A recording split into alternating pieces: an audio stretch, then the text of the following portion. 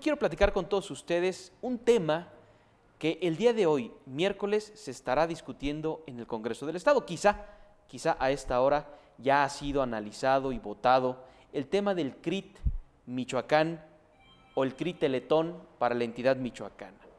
Yo me manifiesto a favor de que llegue un espacio, una institución de esta calidad a esta entidad. ¿Por qué? No solamente porque en Michoacán hay más de 270 mil personas con algún tipo de discapacidad.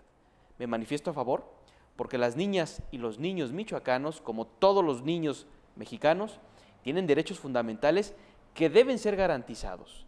Estos derechos están en leyes federales y también en leyes internacionales.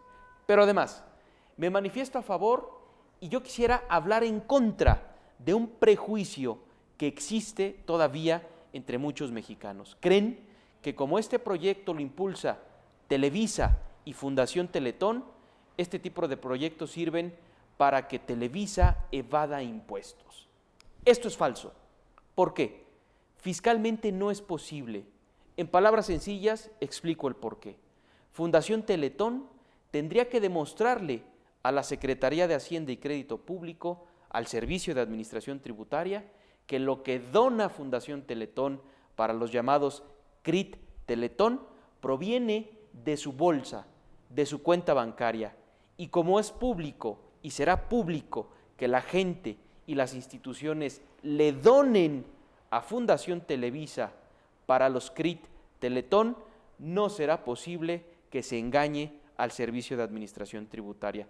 Por esto, no es posible que Fundación Televisa o Fundación Teletón evadan impuestos. No es así como lo cree mucha gente, aunque también debo de manifestar que mucha gente cree que es un proyecto interesante.